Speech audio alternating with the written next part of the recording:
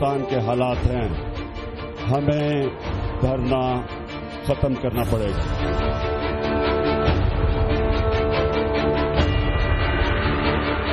قانون آئین، یہ سب کچھ اسی لیے ہے کہ پاکستان کے عوام کی زندگیوں کو تحفظ کیا جائے اور پھر اس آئین اور قانون کا کیا فائدہ ہوگا جو پاکستان کے، ان کے زندگیوں کو تحفظ نہ کر سکے۔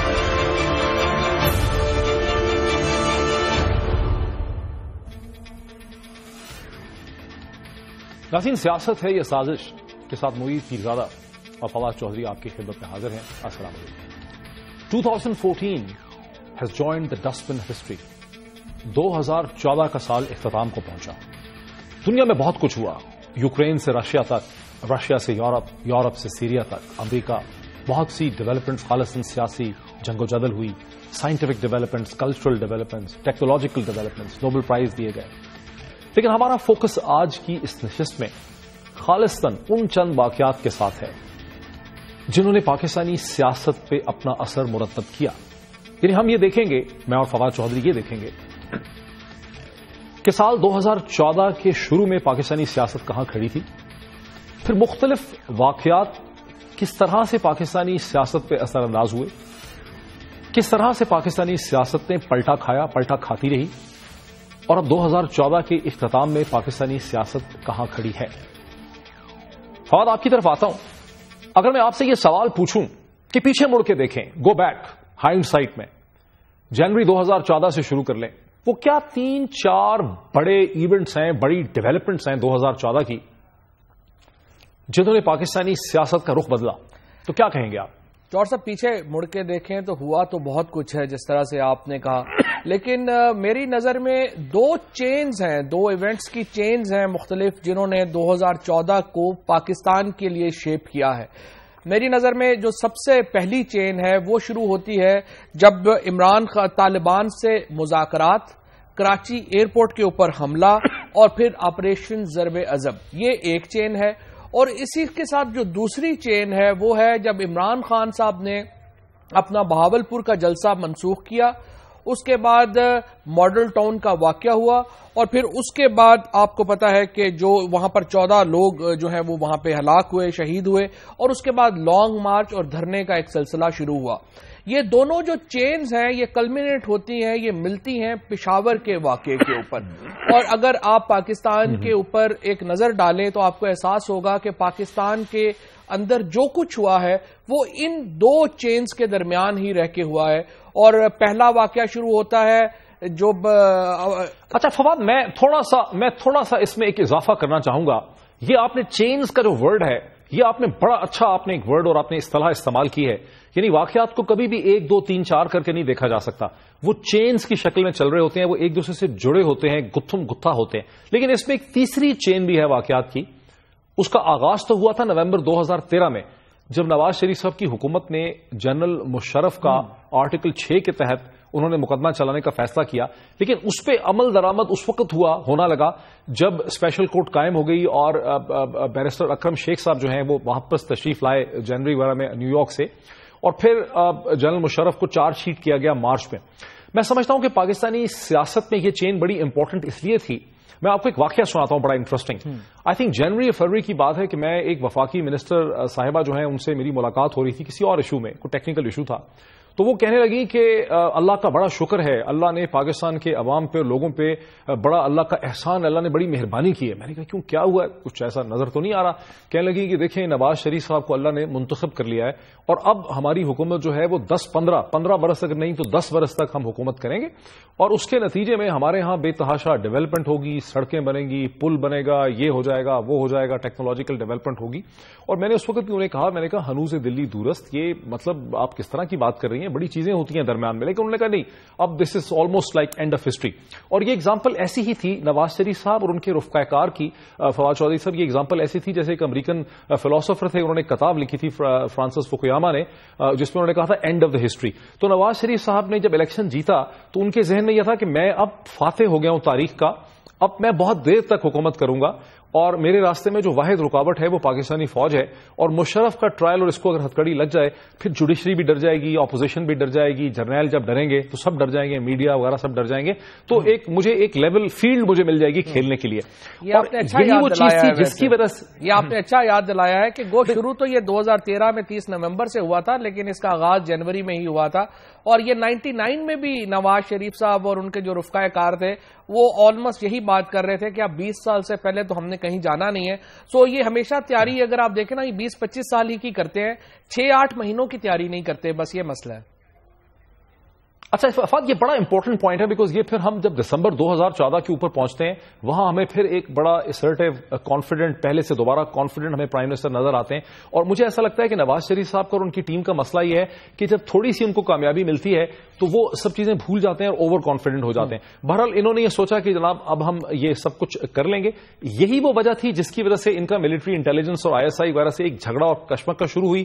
پھر حامد میر صاحب کی گولی کا جو ٹریجک انفارچونیٹ واقعہ ہو گیا جس کے بعد حکومت نے نواز شریف صاحب کی حکومت نے فیصلہ کیا کہ ہم نے جیو کے ساتھ کھڑا ہونا ہے اپنی ملٹری اسٹیبلشمنٹ یا انٹیلیجنس کے خلاف۔ اور اس کے بعد ریسٹ از ہسٹری وہاں سے وہ سپیس پیدا ہوئی جس کے اندر ڈاکٹر طاہر القادری نے اور عمران خان نے ایک بہت بڑی کامیاب کیمپین چلائی جس کے نتیجے میں ایک نیا سیاسی شعور پیدا ہوا اور نواز شریف صاحب کی حکومت جو ہے وہ شہروں میں بڑی غیر مقبول ہو گئی۔ میں سمجھتا ہوں کہ یہ جو چین آف ایونٹس تھا اب آپ دیکھیں۔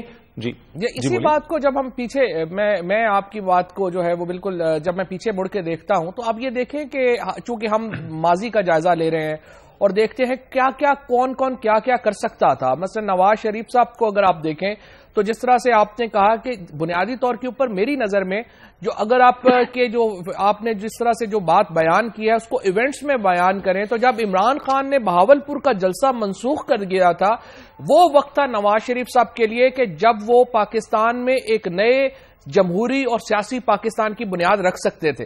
اس وقت انہیں وہ ریفارمز کرنی چاہیے تھیں لوکل گورنمنٹ کی ریفارمز قومی سلامتی سے متعلق ریفارم جو انہوں نے نہیں کی۔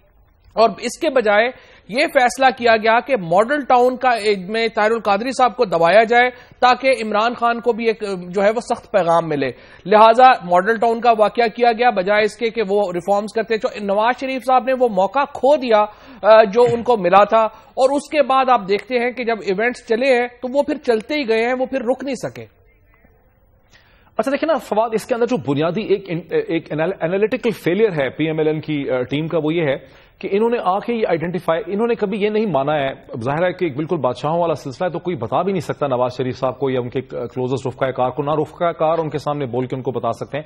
انہوں نے کبھی یہ انالیسس نہیں کیا کہ میری انیس سو ترانوے اور انیس سو ننانوے کی حکومتوں کے اندر میرے گورننس فیلئر کیا ہیں؟ اور میں جو بھی ایک ایجنڈا لے کر آتا ہوں جو بڑا خوبصورت ہوتا ہے اور بڑا بلند بانگ ہوتا ہے، اس پہ میں عملی جامع اس کو کیوں نہیں پہنا سکتا؟ کیا مشکلات ہوتی ہیں؟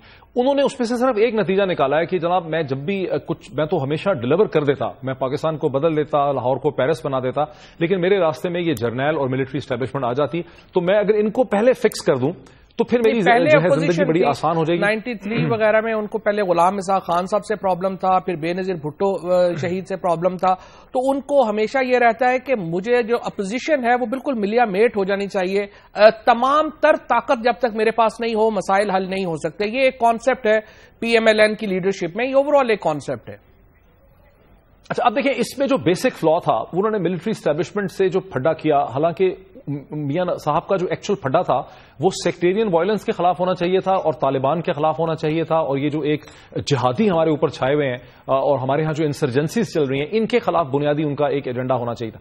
اور یہ ایجنڈا ان کا مکمل نہیں ہو سکتا تھا without the full confidence and support of Pakistan military establishment لیکن انہوں نے ملٹری اسٹیبلشمنٹ سے تعلقات خراب کیے، جس کے نتیجے میں ہم دسمبر میں یہ دیکھتے ہیں کہ آج ملٹری اسٹیبلشمنٹ کیونکہ سسٹم کو ان کی ضرورت ہے، چونکہ وہ سسٹم کے ساتھ نتھی ہے میاں نواز شریف صاحب کے انالیسس میں یہ ہے کہ وہ شاید سسٹم میں ضرورت ان کی نہیں ہے۔ حالانکہ وہ سسٹم چونکہ ان کے ساتھ کھڑا ہوا ہے، اس لیے وہ دوبارہ طاقتور ہو کے ایمرج ہوتے ہیں۔ اور اب آپ دیکھ رہے ہیں کہ کس طرح سے راہیل شریف صاحب ہر جگہ بیٹھے ہیں وہ ہر جگہ ایڈوائز دے رہے ہیں بتا رہے ہیں انسٹرکشن دے رہے ہیں۔ کیسے راہیل شریف امریکہ جاتے ہیں ڈاکٹر صاحب ہوا اصل میں یہ تھا کہ نواز شریف صاحب کا تو یہ ایجنڈا کبھی بھی نہیں تھا کہ طالبان ہمارے مخالف ہیں اور فرینکلی عمران خان صاحب کا اور تحریک انصاف کا بھی یہ ایجنڈا کبھی نہیں تھا کہ طالبان جو ہیں وہ پاکستان کے مخالف ہیں یا ان سے۔ بلکہ نواز شریف صاحب میں اور عمران خان صاحب میں تو ایک ریس لگی ہوئی تھی کہ کس طرح ہم طالبان کو پیس زیادہ کر سکتے ہیں کس طرح خوش زیادہ کر سکتے ہیں۔ اور اگر دو ہزار چودہ کا سب سے بڑا بلنڈر کوئی ہوا ہے پاکستان صحیح آپ کہہ رہے ہیں ایک بریک میں لے لوں فواد پھر میں واپس اسی پہ آتا ہوں۔ ناظرین ایک بریک لیتے ہیں۔ سال دو ہزار چودہ اختتام کو پہنچا لیکن کیا ہوا اس سال کے اندر؟ اس پہ ہم بات کر رہے ہیں۔ ہمارے ساتھ رہیے گا۔ بریک کے بعد میں پھر فواد کی طرف چلتا ہوں۔ آفٹر دا بریک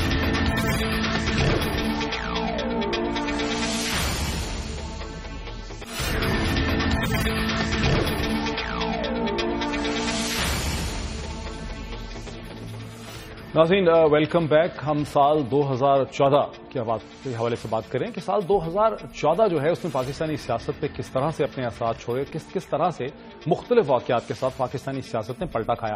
فواد، آپ یہ کہہ رہے تھے کہ دونوں پی ایم ایل این اور پاکستان تحریک انصاف در حقیقت طالبان کے ساتھ صلح کرنا چاہتے تھے۔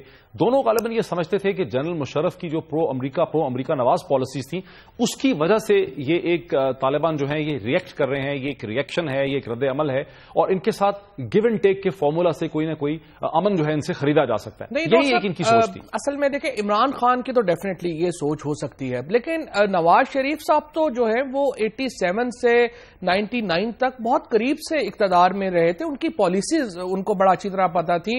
ریجن کی جتنی سچویشن نواز شریف صاحب کو پتا ہے شاید کسی کو بھی نہیں پتا تھی۔ لیکن ان کے لیے یہ کہنا کہ جو نائن الیون کے بعد کی پالیسی تبدیل ہو گئی ہے اور صرف ہم امریکہ کی ایک کال کے اوپر وہ پرویز مشرف دشمنی زیادہ تھی۔ اور اپنی جو ان کا تجربہ تھا، اس کو انہوں نے بروئے کار لانا اس وقت مناسب نہیں سمجھا۔ اگین جس طرح آپ نے بات کی انالیسز نہیں کرتے اور وہی بات ان کو دوبارہ فیلئر ملا کہ اب اور آپ دیکھیں کہ جو سب سے بڑا فیلئر اگر دو ہزار چودہ کا پاکستان کا بحثیت انسٹیٹیوشن ہوا تو وہ مذاکرات کا فیصلہ تھا جس کے نتیجے میں ہزاروں لوگوں کو جانوں سے ہاتھ دھونا پڑا۔ اور راہیل شریف صاحب کا جو رائز ہے وہ اصل میں ہوا جب آپ دیکھیں کہ کراچی ایئرپورٹ کے اوپر حملہ ہوا اور اس کے بعد جنرل راہیل لیکن اس سے پہلے کراچی ایئرپورٹ سے حملے سے پہلے تھوڑا سا ہم ان مذاکرات کی طرف آ جانا جس میں دو کمیٹیاں بنی جس میں چھ فروری کو مذاکرات کا فیصلہ ہوا پھر ایک حکومتی کمیٹی بنی جس میں عرفان صدیقی صاحب بھی تھے جس میں غالبا میجر عامر تھے اس کے اندر رحیم اللہ یوسف زئی صاحب تھے اس میں رستم شاہ محمد تھے۔ اور دوسری ایک طالبان کی بلواسطہ کمیٹی بنی جس میں طالبان خود تو نہیں تھے لیکن انہوں نے کہا کہ یہ وہ لوگ ہیں جن کے اوپر ہم ٹرسٹ کر سکتے ہیں جس میں مولانا سمیع الحق تھے پروفیسر ابراہیم صاحب اس کے اندر تھے مولانا عبد العزیز کا اس میں نام دیا گیا جو بعد میں ان کو پیچھے ہٹنا پڑا اور اس کے اندر یوسف شاہ مولانا یوسف شاہ اس کے اندر تھے۔ لیکن آپ کا میرا یہ خیال ہے فواد کہ اس میں ایک یہاں پر بھی ایک بیسک اینالیٹیکل پرابلم تھا کہ یہ مذاکرات کامیاب اس لیے نہیں ہو سکتے تھے کہ طالبان کے کوئی دو چار بھی گروپس نہیں تھے، بلکہ تیس، چالیس، پچاس چھوٹے چھوٹے گروپس تھے۔ کسی میں پچاس لوگ تھے، کسی میں پانچ سو، کسی میں دو ہزار، کسی میں چار ہزار۔ اور ان کی کوئی سینٹرل لیڈرشپ یا کوئی بنیادی فلسفہ نہیں تھا۔ یہ بنیادی طور پہ انارکسٹ ہیں فورسز آف انارکی ہیں، جو قیوس پہ تھرائیو کرتے ہیں۔ جو قیوس ہے افغانستان اور پاکستان کے علاقوں کے درمیان پھیلا ہوا، جہاں کوئی سینٹرل گورنمنٹ کے گورننگ انفلوئنس نہیں ہے اس سے یہ گروپس جو ہیں وہ بینیفٹ کرتے ہیں اس سے یہ روپے پیسہ کماتے ہیں وہی سچویشن ہے۔ جو پنجاب میں تھی جب مہاراجا رنجیت سنگھ کی حکومت گئی۔ تو اس کے بعد کا جو سال بعد کا جو اشرا ہے پورا اس کو سکھا شاہی کہا جاتا ہے۔ وہی جو دس برس ہے اس کو سکھا شاہی کہا جاتا تھا جب انگریزوں کے آنے سے پہلے۔ تو پنجاب میں ویسی ہی لوٹ مار تھی۔ رنجیت سنگھ سے پہلے بھی تھی۔ تو اس کو جو پنجاب کا ڈارک ایرا تصور کیا جاتا ہے اور یہی وہ ایرا تھا جس کو طالبان کے یہ جو گروپس جن کی طرف آپ نے اشارہ کیا اسکیٹرڈ گروپ سے ان سے ہو نہیں سکتے تھے۔ ویسے بھی اس طرح کی ایکسٹریم فلسفیز کے اوپر آپ کیا مذاکرات کرتے؟ لیکن بہرحال اس کے نتیجے میں یہ ہوا کہ جو پولیٹیکل لیڈرشپ تھی ہماری، ان دونوں کو بیک فٹ پہ جانا پڑا۔ اچھا اب یہاں پر ایک اور ایونٹ جب راہیل شریف صاحب نے یہ فیصلہ کر لیا آرمی نے یہ فیصلہ کر لیا کہ آپریشن ہوگا۔ اس کے آپ کو پتا ہے تھوڑا سا اس کی تاریخ دیکھ لیں کہ نو نو جون دو ہزار چودہ کو کراچی ایئرپورٹ کا اعظم انٹرنیشنل ٹرمینل کے اوپر جو حملہ ہوتا ہے جس میں تیس سے زیادہ لوگ شہید ہوتے ہیں اور دس ملیٹنٹس وہاں پہ ازبیک حملہ کرتے ہیں۔ گیارہ تاریخ کو پاکستان ایئر فورس تیرہ پہ بامنگ کرتی ہے چودہ یا پندرہ کو ضرب ازب کا باقاعدہ آغاز ہو جاتا ہے۔ یہ ایونٹ ہے جس کی اگرچہ آغاز تو گیارہ تک گیارہ کو ہی ہو گیا تھا لیکن آفیشل جو ہے جب اناؤنسمنٹ کی گئی وہ چودہ اور پندرہ کی رات کو۔ اچھا اب بدقسمتی سے کیا ہوا کہ سترہ تاریخ کو ماڈل ٹاؤن کا واقعہ ہو گیا۔ اب نواز شریف صاحب کے پاس پہلے تو آئیڈیل موقع یہ تھا۔ دیکھیں، دوبارہ میں آپ کو جس طرح سے بات کرنا چاہ رہا تھا کہ نواز شریف صاحب کی ہماری فوج مصروف ہو گئی تھی، عمران خان کینسل کر چکے ہوئے تھے۔ یہ وہ موقع تھا جب نواز شریف صاحب نے اپنی جو پولیٹیکل آئیڈیالوجی ہے، اس کی طرف قدم بڑھانے تھے۔ لیکن انہوں نے فیصلہ کیا کہ وہ وہاں پہ ماڈل ٹاؤن میں سخت ایکشن کریں گے۔ اب جب وہاں چودہ لاشیں گر گئیں، تو ان کا بوجھ نواز شریف صاحب کے لیے، ان کے کندھوں کے لیے اتنا زیادہ زیادہ ثابت ہوا اور ان کے کندھے اتنے لاغر ہو گئے کہ انہیں راہیل شریف صاحب کی چھڑی کی ضرورت پڑ گئی۔ اور جب آپ دوسروں سے چھڑی مانگ کر چلتے ہیں تو پھر ایسے ہی ہوتا ہے جیسے ہوا۔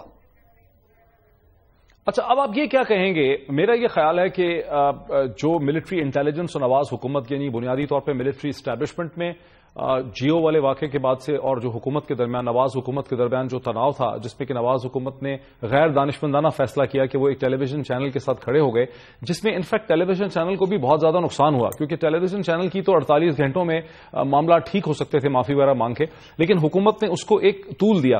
اس کے نتیجے میں وہ تحریک کو ایک سپیس ملی ایک پولیٹیکل سپیس ملی۔ اگر یہ جھگڑا نہ ہوتا جو انیس اپریل کو بہت طول کھینچ گیا تو کبھی بھی ڈاکٹر طاہر القادری کو اور عمران خان کو وہ بڑی پولیٹیکل سپیس نہ ملتی جو ان کو مئی جون جولائی اگست میں ملی ہے سمجھیں کہ اگست کے آخر تک۔ جس کے نتیجے میں پاکستانی سیاست میں ایک بہت بڑی تبدیلی آئی جس کے اثرات کو ابھی بھی ہمیں اس کا صحیح طرح سے تعین کرنا ہے۔ کیونکہ پاکستان کے شہروں کے اندر جو نوجوان ہیں جن کی عمر بیس برس سے زیادہ اور چالیس برس سے کم ہے یعنی آپ سمجھ رہے ہیں کہ پاکستان کی پینسٹھ فیصد آبادی جو ہے اس کی عمر پینتیس فیصد سے کم ہے۔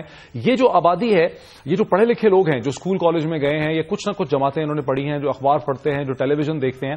ان کے خیالات میں، ان کے سوچنے کے انداز میں اور ان کی سیاست میں جو تبدیلی آئی ہے، اس سے پاکستانی سیاست بدل رہی ہے اور مزید بدلے گی۔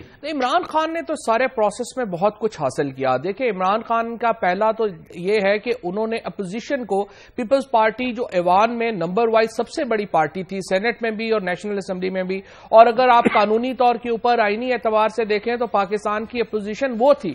لیکن عمران خان نے نہ صرف یہ کہ پیپلز پارٹی کو ریپلیس کر دیا، بلکہ M Q M J U I اور اے این پی جیسی پارٹیز جو بڑی آرگنائز پارٹیز تھیں، وہ بھی عمران خان کے جادو کے نیچے جو ہیں، وہ اپنے آپ کو بے بس سمجھ پاتی ہیں۔ اور اب بھی، اب اگر آپ دیکھیں، اگرچہ علامہ تیر القادری بھی درمیان میں ابھرے اور انہوں نے بھی پاکستان کی سیاست میں عمران خان اور تیر القادری نے مل کے ایک جو بہت پازیٹو کام کیا، وہ جو کوالٹی ڈیموکریسی کی جو ڈیبیٹ پاکستان میں شروع ہوئی، وہ ان کی مرہون منت تھی اور اس ساری موومنٹ کی مرہون منت تھی اور اصل میں ماڈل ٹاؤن کے ان چودہ شہدا کے مرہون منت تھی، جس کے بعد یہ ساری موومنٹ شروع ہوئی۔ تیر القادری صاحب آخر میں اس سپیریئر پالیٹکس کا مظاہرہ نہیں کر سکے، وہ فیڈ اوے ہو گئے اور وہ آخر آخر میں کینیڈا بھی چلے گئے لیکن عمران خان کا سہر ابھی بھی باقی ہے۔ اور جس طرح سے آپ نے کہا ابھی بھی باقی ہے۔ مجھے ایک مجھے ایک بریک لینی ہے۔ ہم یہ کہہ سکتے ہیں کہ اگر مین آف دا ایئر ہم کہیں پاکستانی سیاست کا تو وہ ڈیفینیٹلی طور پہ عمران خان ہوں گے۔ لیکن جس طرح سے ماڈل ٹاؤن کے شہدا جو ہیں، انہوں نے پاکستان میں ڈیموکریسی کی سیاست کو شروع کیا، اسی طرح پشاور آرمی پبلک اسکول پہ جو حملہ ہوا، وہاں جو بچوں کی شہادتیں ہوئیں، اس کے بعد پاکستانی سیاست نے ایک بار پھر پلٹا کھایا، جس میں ڈیموکریسی اور وہ سب چیزیں پیچھے چلی گئیں اور پھر نئی چیزیں جو ہیں، اس میں سامنے آئیں، جس میں دہشت گردی کے خلاف مقابلہ کرنا جو ہے، وہ سب سے بڑا فیکٹر بن گیا۔ ہمارے ساتھ رہیے گا۔ ایک بریک کے بعد اسی ڈسکشن کو ہم آگے بڑھاتے ہیں کہ آگے پھر کیا ہوا۔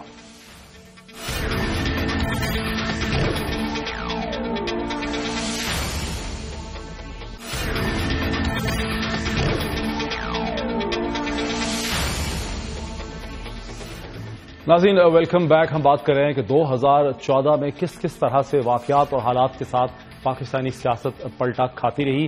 فواد چودھری، آپ کی طرف آ رہا ہوں۔ اس سے پہلے کہ ہم اس چیز کے اوپر جائیں کہ کیسے پشاور آرمی پبلک اسکول پہ جو ٹریجڈی ہوئی، جہاں پر ایک سو چالیس لوگ شہید ہوئے، جس میں ایک سو اکتیس بچے تھے، اور کیسے ایک بار پھر پاکستانی سیاست نے پلٹا کھایا اور دہشت گردی امپورٹنٹ ہو گئی۔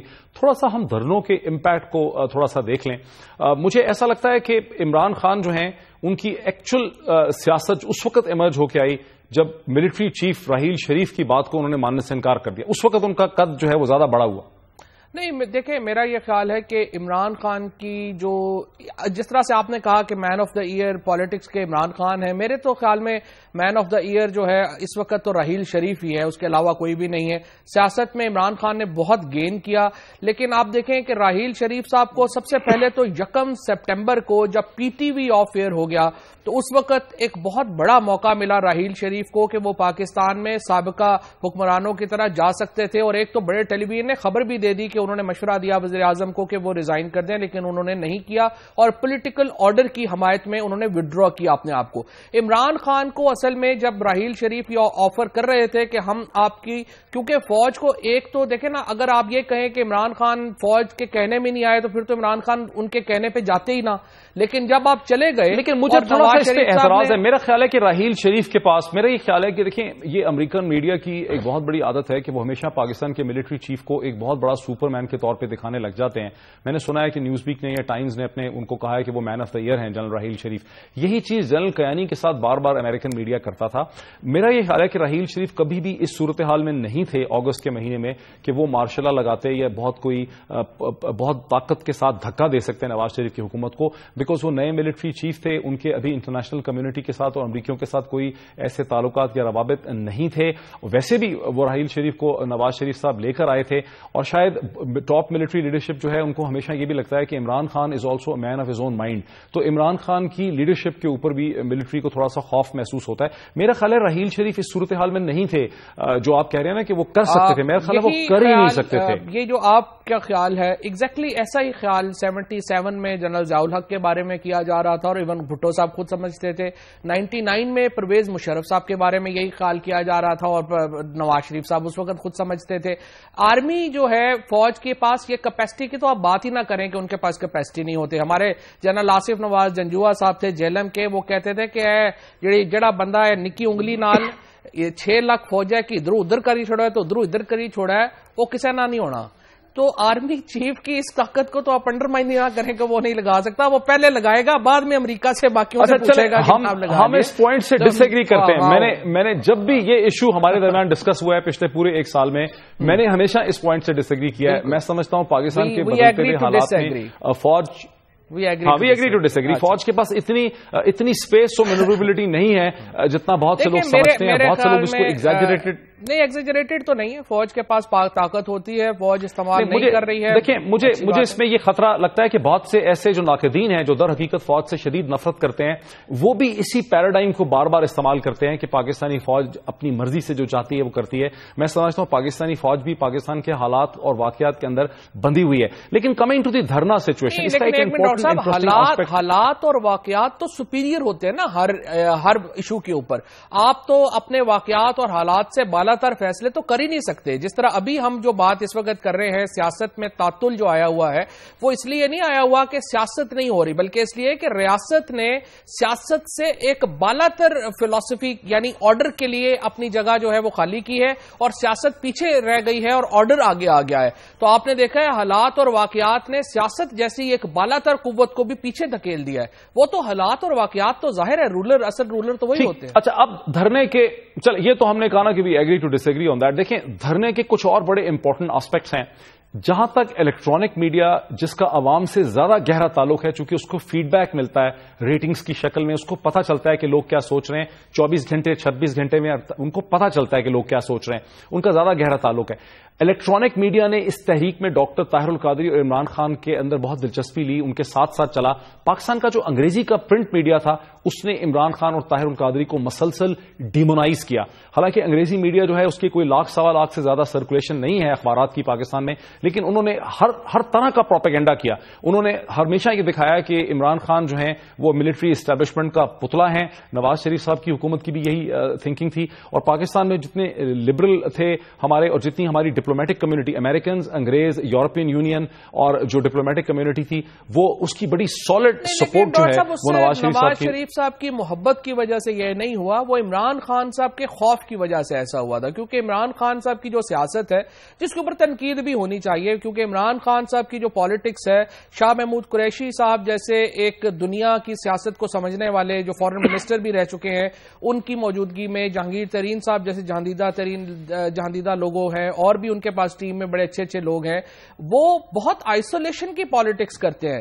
آپ دیکھیں کہ جس طرح سے ڈرون حملوں کے اوپر انہوں نے جس کے بھی کہنے کے اوپر یا خود اپنے ویو کے اوپر جس طرح سے موومنٹ بنائی، پھر اس سے وڈرا کیا، جو انہوں نے نیٹو سپلائز کے اوپر ساتھ جو کیا، پاکستان کی انٹرنیشنل پالیٹکس کو وہ پاکستان کے جو ہمارے ڈپلومیٹس ہیں، جب بھی آپ ان سے ملتے ہیں وہ خوف کا شکار ہوتے ہیں عمران خان کے لیے، اور یہی حالات ہماری فوج کے بھی ہیں۔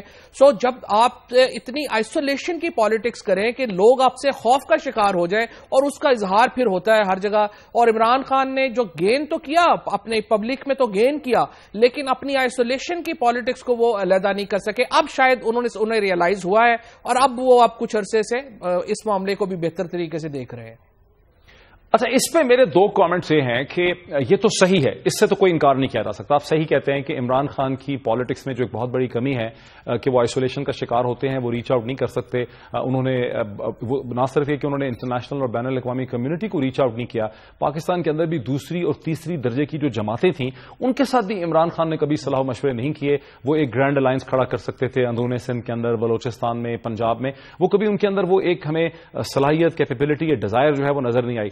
لیکن بین الاقوامی کمیونٹی کی طرف آتے ہوئے ایک اور پرابلم بھی مجھے نظر آتا ہے۔ مجھے ایسا لگتا ہے کہ کوئی بھی self respecting Pakistani political leader جو یہ کہے کہ میری ریاست کے، میرے معاشرے کے، میری مملکت کے یہ انٹرسٹ ہیں اور ہمیں اس طرح سے چلنا ہے، مغرب کے لوگ اس کو زیادہ پسند نہیں کرتے۔ اسلام آباد میں جس کو بھی حکومت ملتی ہے، اس کو بنیادی طور پہ امریکہ کو اور برطانیہ کو یہ ری ایشورنس اور آشیرواد دینی پڑتی ہے کہ میں آپ کے انٹرسٹ کو لے کر چلوں گا بھارت کے حوالے سے، افغانستان کے۔ کم از کم پچھلے دس سال سے ایسا ہو رہا ہے۔ اور یہی پوائنٹ اب عمران خان سے آگے آگے مجھے لگتا ہے کہ یہی پوائنٹ در حقیقت پاکستانی ملٹری کا بھی ہے جس کو لاطینی امریکہ کی فوج کے تاثر میں مغرب دیکھتا ہے۔ حالانکہ پاکستانی فوج جو ہے وہ پبلک ایسپریشن کے زیادہ قریب ہے اور یہ ایک بڑا پاپولر انسٹیٹیوشن ہے۔ لیکن چونکہ یہ پبلک پاپولیرٹی کے ساتھ ہماری پبلک ایسپریشن جو ہے وہ تو یہ ہے کہ ہمیں کم از کم امریکہ سے جنگ کرنی چاہیے۔ پبلک ایسپریشن تو یہ ہے کہ جس طرح جرمنی اور جاپان جو ہے وہ ڈٹ گیا تھا اور پورا ملک جو اگر آپ دوسری بات کرتے ہیں نا وہ تو بالکل غلط بات ہے۔ پاکستان کی جو جب آپ اگر آپ ایک نیشنل پالیٹکس میں ہے تو آپ کو مغرب کی بات نہیں ہے پوری دنیا ہی کی بات یہ ہے۔ مثلا افغانستان کے اوپر جو ہماری پالیسی تھی جو طالبان کی حمایت کی پالیسی تھی اس کی پوری دنیا مخالف تھی۔ امریکہ یو کے کو تو چھوڑ ہی دیں۔ وہ کیا ساؤتھ کوریا چائنا یا ہمارے جو ریجن کے باقی ملک جو ہیں وہ اس پہ سپورٹ کرتے تھے ہمیں۔ پاکستان کی فوج جو ہے یا پاکستان کی جو لوگ اقتدار میں ہوتے ہیں ان کو ایک سین پالیسی لے کے چلنا ہوتی ہے۔ یہ دنیا ایک تو اچھا۔ پہلی بات تو یہ کہ گلوبل ولیج ہے۔ یہ تو نہیں کہ ہم اکیلے اپنی جو مجھے بالکل صحیح ہے۔ مجھے مجھے ایک بریک لینے دیں۔ میرا پوائنٹ بنیادی طور پہ یہ تھا کہ جو پاکستان میں ایک سیلف ریسپیکٹنگ انسٹیٹیوشن ہوگا جو عوام کے ساتھ کھڑا ہونے کی کوشش کرتا ہے یا یہاں کے انٹرسٹ کی خالصتاً بات کرتا ہے اس کا مغرب کے ساتھ اکویشن ڈفرنٹ مشکل ہوتی ہے۔ ایک بڑا مشکل اور کمپلیکس ریلیشن شپ ہے۔ اینی anyway, ہم دو ہزار چودہ کی بات کر رہے ہیں ہمارے ساتھ رہیے۔ بریک کے بعد واپس آتے ہیں اور دیکھتے ہیں کہ کیسے سانحہ پشاور نے ایک بار پھر پاکستانی سیاست کو پلٹا کھانے پہ مجبور کر دیا۔ آفٹر دا بریک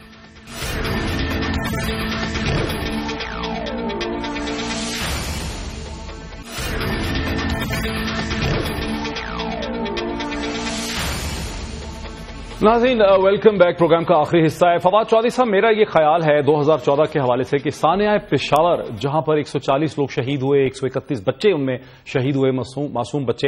اس واقعے نے جہاں پورے ملک کو ہلایا، وہاں وزیر اعظم نواز شریف صاحب کو بڑے غیر معمولی طریقے سے سیاسی طور پہ بیل آؤٹ کیا۔ اور نواز شریف صاحب کی باڈی لینگویج میں ہم نے ایک بڑا کانفیڈنس اور خود اعتمادی دیکھی۔ سترہ دسمبر کو نواز شریف صاحب اتنے خود اعتماد ہو چکے تھے، اتنے پرسکون تھے کہ پشاور میں اے پی سی میں بیٹھ کے، عمران خان صاحب کے ساتھ بیٹھ کے انہوں نے وہاں پہ جوک کریک کیا۔ کہ میں بھی چلا جاتا آپ کے ساتھ کنٹینر پہ، لیکن مجھے ہسپتال میں بچوں کو دیکھنے جانا ہے۔ اور ابھی کل یا پرسوں میں نے دیکھا کہ میٹروپول موٹر پہ پولیس کے ساتھ بات کرتے ہوئے بھی نواز شریف صاحب مسلسل جگت بازی اور جوکس اور ہنسی مذاق کر رہے تھے۔ تو وہ اب بڑے پر اعتماد محسوس کرتے ہیں، وہ سمجھتے ہیں میرے سیاسی چیلنجز کھڑے ہو گئے، ختم ہو گئے ہیں۔ جو بھی مجھے چیلنج کیا گیا تھا، وہ چیزیں ختم ہو گئی ہیں۔ نہ اب نواز شریف صاحب پہ کوئی بہت پریشر ہے کہ وہ جوڈیشل کمیشن پہ کوئی کام کریں اور وہ بھی اس پہ بھی میرا نہیں خیال کہ کوئی میننگ فل طریقے سے ہوگا۔ وہ چاہیں گے کہ لولا لنگڑا سا جوڈیشل کمیشن بن جائے، اس پہ کچھ نہ ہو۔ اب وہ سمجھتے ہیں کہ میں نے یہ مارکا جیت لیا اور ان کا یہ اوور کانفیڈنس مجھے خطرناک لگتا ہے۔ ایسا ہی ہے، جیسے آپ آپ نے بات کی ہے نواز شریف صاحب کی، اور لیکن اس سے پہلے جو آپ نے بات کی تھی کہ وہ سیریس انالیسز نہیں کرتے اور اس کی وجہ سے آخر میں آ کے پھر مشکلات میں پھنس جاتے ہیں۔ اس کی وجہ جو اس وقت پرائم منسٹر صاحب کو کچھ کام کرنے کا اگر موقع ملا ہے تو یہ نہیں ہے کہ وہ سیاسی چیلنجز ان کے کم ہو گئے ہیں۔ ان کے سیاسی چیلنجز وہ بدستور اپنی جگہ پر موجود ہیں وہ اس لیے آپ کو لگ رہا ہے کہ سیاست کی جگہ آرڈر کی تلاش نے لے لی ہے۔ یعنی پاکستان کی ریاست اس وقت وہ آرڈر بحال کرنا چاہتی ہے ملک میں جس میں سیاست ہو سکے۔ لہٰذا جو ہی ہم واپس سیاست کی طرف آئیں گے وزیر اعظم صاحب کو وہ چیلنجز ملیں گے۔ اب وزیر اعظم صاحب نے اگر آپ غور کریں تو ایک طرف تو آپ یہ کہہ سکتے ہیں کہ ان کو عمران خان کا وہ خطرہ ٹل گیا ہے لیکن دوسری طرف وزیر اعظم صاحب کو ایک اتنا بڑا چیلنج درپیش ہے کہ جس میں اگر وہ ناکام ہوتے ہیں تو وہ سیاست سے ہی نہیں باہر ہوں گے، ان کو بہت بڑے نقصانات بھی پہنچ سکتے ہیں اور وہ دہشت گردی کا خدشہ ہے۔ اب اگر آپ دیکھیں تو پرائم منسٹر صاحب کی آج تیسری تقریر تھی پشاور کے واقعے کے بعد سے جو کریں گے ہوگا پہ ختم ہوتی ہے۔ حالانکہ اب تک بہت کچھ ہو چکا ہونا چاہیے تھا۔ مثال کے طور کے اوپر ملٹری لیکن لیکن فواد اس کی ایک وجہ تو یہ ہے نا کہ بہت سی جو ڈسیزن میکنگ ہے بہت سے جو افیکٹو مؤثر فیصلے ہیں وہ جمہوری لیڈرشپ کے ہاتھ سے آٹومیٹکلی آپریشنل ضروریات کی وجہ سے نکل کے ملٹری کے ہاتھ میں چلے گئے ہیں۔ اور ایک طرح سے آپ سمجھیں کہ ڈیموکریسی سے ہم ایک عجیب پوسٹ ڈیموکریسی ماڈل میں چلے گئے ہیں جہاں ملٹری سول ملٹری بیوروکریسیز کا رول جو ہے وہ بڑھ جائے گا۔ یعنی جس طرح سے یورپین یونین میں سول بیوروکریسی صحیح بات ہے لیکن دیکھیں کچھ ایسے اقدامات ہیں جو ملٹری کورٹس کے اوپر اگر آپ کہیں کہ آپ نے بات کرنی ہے وہ امفیسز اب وہ کر لیں گے۔ لیکن آپ کو F M U unit state bank کا جو ہے وہ ریکانسٹیٹیوٹ ہو چکا ہونا چاہیے تھا تاکہ ہنڈا تاکہ ہنڈی اور حوالہ جو ہے اس کے اوپر افیکٹو چیک جو ہے وہ آ سکے۔ اسی طرح سے جو آپ کے معاملات ہیں کہ بینڈ آرگنائزیشن کے جو لوگ مختلف ناموں سے پارٹی چلا رہے ہیں ان کو جیل میں ہونا چاہیے تھا۔ اسی طرح سے وہ اخبارات جو جہادی اخبارات ہیں ان کی اشاعت بند ہونی چاہیے تھی اور اس میں جو میاں صاحب میاں صاحب کے جو پرسنل دوست اس میں پین ناموں سے کالم لکھتے ہیں ان کو روک دیا جانا چاہیے تھا۔ تھا۔ اچھا فواد دیکھیں کچھ ایسی چیزیں جو مئی سے شروع ہوئی اور وہ دسمبر کے آخر تک رہی پاکستان میں، وہ ساری ڈبیٹ اور نیریٹو اب دوبارہ سے چینج ہو گیا۔ بات ہو رہی تھی لوکل گورنمنٹس کی افیکٹو گورننس کی ڈیپر ڈیموکریسی کی۔ فیملی رول نہیں ہونا چاہیے ہائرارکل رول نہیں ہونا چاہیے۔ بلاول کا کیا کام ہے؟ فلاں کا کیا کام ہے؟ جو ہے مریم نواز صاحبہ کا یہ رول نہیں ہونا چاہیے۔ آپ کو پتا ان کو اپنا عہدہ بھی چھوڑنا پڑ گیا۔ اور اور نئے پروونسز کی بات ہو رہی تھی۔ وہ ساری ڈبیٹ جو ہے، وہ یکسر تبدیل ہو کے دہشت گردی کے خلاف آ گئی ہے جس میں بنیادی رول یہ جو بات ہے یہ ختم ہوگی ہی نہیں۔ یہ صرف اس وقت معاملہ یہ اچھا۔ ہوا ہے کہ ہم ریاست آرڈر کی طرف جا چکی ہے۔ جو ہی سیاست شروع ہوگی آپ یہ دیکھیں گے کہ یہ تمام ایشوز دوبارہ سر اٹھائیں گے۔ اور پرائم منسٹر صاحب کے پاس جو یہ جو اسٹاپ گیپ موقع اس وقت ملا ہے انہیں ایکسٹریمزم سے نبٹنے کے لیے اپنے معاملات کرنے چاہیے لیکن پاکستان میں بھی روایتی سیاست نہیں چل پائے گی۔ وہ اس میں آپ کو آگے بڑھنا پڑے گا۔ آپ دیکھیں گے عمران خان دوبارہ واپس اپنی پوزیشن پہ آ جائیں گے۔ اگر نواز شریف صاحب نے اسی طرح سے کیا جیسے وہ ماضی میں کر رہے ہیں، انہیں تبدیلیاں تو لانی پڑیں گی۔ یعنی آپ یہ آرگیو کر رہے ہیں کہ سال دو ہزار پندرہ میں ایک بار پھر ہم لوکل لوکل گورنمنٹس کا ایمفیسس دیکھیں گے۔ نئے صوبوں کی ڈیمانڈ ہمارے سامنے آئے گی۔ فیملی پالیٹکس کے خلاف جو جذبات ہیں وہ دوبارہ سامنے آئیں گے۔ اچھا آپ نے سنا ہے کہ سترہ جنوری کو امریکہ کے secretary of state John Kerry کا پاکستان کا اسکیڈول دورہ ہے اور عمران خان نے ایک بار پھر ایک ویلڈ تھریٹ ڈی ہے کہ اگر اس سے پہلے حکومت ایک مؤثر جوڈیشل کمیشن نہیں بناتی تو وہ ایک بار پھر ایک پروٹیسٹ موومنٹ کا جو ہے آغاز کریں گے۔ آپ سمجھتے ہیں کہ گورنمنٹ اس کو سیریسلی لے گی؟ میرا نہیں خیال کہ ابھی عمران خان صاحب بھی اس کو کوئی سیریس تھریٹ کے طور پہ دیں گے، کیونکہ اس وقت جیسے آپ نے دیکھا ہے، پاکستان میں نواز شریف صاحب اور عمران خان دو پولیٹیکل پلیئر ہیں، لیکن راہیل شریف ایک بہت بڑے پلیئر ہیں۔ اور راہیل شریف کو بھی اب دیکھنا پڑتا ہے، آپ کو اپنے معاملات کو، اپنے فیصلوں کو جو ہے وہ ایگزیکیوٹ کرتے ہوئے۔ اگر پوری فوج کے بچے مر رہے ہیں، فوج کے سپاہی مر رہے ہیں، آپ اپنے پروٹیسٹ جوڈیشل کمیشن پہ تو نہیں کر سکتے اور نہ ہی کرنے چاہیے۔ صرف مسئلہ یہ ہے کہ نواز شریف صاحب اگر پالیٹکس شروع کریں گے، عمران خان سیاست شروع نہیں ملک میں کر سکتے۔ سیاست شروع دوبارہ نواز شریف صاحب کر سکتے ہیں اپنی غلطیوں سے۔ اور لیکن اس سے پہلے ایک بہت بڑا خطرہ نواز شریف صاحب کو، عمران خان کو، بلاول بھٹو کو اور تمام ہی پاکستانیوں کو اس ایکسٹریمزم کی ریٹیلیشن سے ہے جو ابھی شروع ہوا ہے۔ اور ہمیں پہلے اپنی جان بچانے کا انتظام کرنا ہے۔ سیاست اس کے بعد آتی ہے اور ریاست کو پہلے آرڈر دیکھنا ہے۔ وقت ہمارا بالکل ختم ہو گیا۔ فواد، بہت شکریہ۔ ناظرین، اختتام کے طور پہ میں کہوں گا یہاں پہ کہ آپ نے ہماری یہ ڈبیٹ دیکھی، آپ نے ہماری میری اور فواد چودھری کی یہ بحث دیکھی سال دو ہزار چودہ کے حوالے سے جس کا اختتام ہو چکا ہے کہ کیسے مختلف حالات، واقعات اور حوادث نے پاکستانی سیاست کو، اس کو پلٹے کھانے پہ مجبور کیا۔ اور ایک بار پھر ہم نے اختتام اس چیز پہ کیا کہ سانحہ پشاور کے بعد دیکھنے میں ایسا لگتا ہے کہ وزیر اعظم نواز شریف صاحب جو ہیں، ان کو پولیٹیکلی طور پہ اس ٹریجڈی نے بیل آؤٹ کر دیا ہے۔ وہ پہلے سے زیادہ خود احتماد نظر آتے ہیں، پر احتماد نظر آتے ہیں، خوش نظر آتے ہیں۔ وہ سمجھتے ہیں ان کے سیاسی چیلنجز ختم ہو گئے ہیں۔ اور ابھی جیسے آپ دیکھ رہے ہیں کہ نادرا کے چیئرمین کی وہ اپوائنٹمنٹ عمر سیف صاحب کی جو کئی مہینوں سے رکی ہوئی تھی، جو ان کے ایک لوئلسٹ تھے، وہ بھی وہاں کرنے لگے حالانکہ نادرا کے اندر بڑے سینئر لوگ موجود ہیں اسی لسٹ کے اندر، لیکن ان کی نہیں ہو رہی۔ عمر سیف جس کی پہلے نہیں ہو رہی تھی، وہ اب ہو رہی ہے۔ تو ایک نیا کانفیڈنس ہمیں پرائم منسٹر نواز شریف کے اندر نظر آتا ہے۔ فواد چودھری کا خیال ہے کہ وہ ایشوز جو ہیں ڈی سینٹرلائزیشن کے ایشو لوکل گورنمنٹس کے ایشو نئے صوبوں صوبوں کے ایشو فیملی رول نہیں ہونا چاہیے افیکٹو گورننس ہونی چاہیے ٹرانسپیرنسی ہونی چاہیے، یہ ایشوز دو ہزار پندرہ میں پھر واپس آئیں گے۔ دیکھیے دو ہزار پندرہ ہمارے لیے کیا یعنی سبق لے کے آتا ہے، کیا میسج لے کے آتا ہے، اس پہ بھی ہماری کوشش ہوگی کہ کل کے دن ہم تھوڑی سی بات کریں کہ دو ہزار پندرہ میں پاکستانی سیاست کے چیلنجز کیا ہیں؟ وزیر اعظم نواز شریف کے کیا چیلنجز ہیں؟ ہماری اپوزیشن کے کیا چیلنجز ہیں؟ سول ملٹری بیوروکریسی کے کیا چیلنجز ہیں؟ کل کوشش ہوگی کہ اس پہ ہم بات کریں۔ بہت شکریہ۔ 何?